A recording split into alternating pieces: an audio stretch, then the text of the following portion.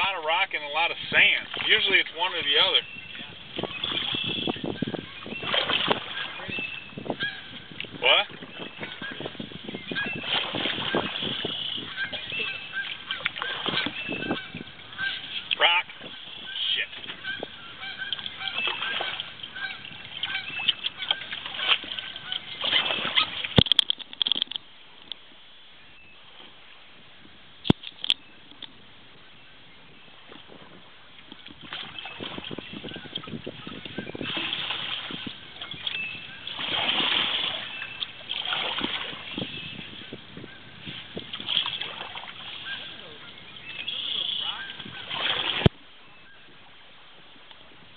that.